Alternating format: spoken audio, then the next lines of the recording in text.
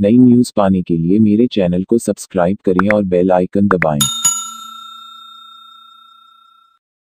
शहर के station road स्थित रानी बाज़ार में कोरोना मरीज़ मिलने के कारण जहाँ बुधवार को रानी बाज़ार का पूरा क्षेत्र सील कर दिया गया था, वहीं बाज़ार फेल होने के बाद पूरे रानी बाज़ार को सैनिटाइज कराया गया, जहाँ पर ज़िले के अधिकारी मौजूद रहे सिद्दीकी की रिपोर्ट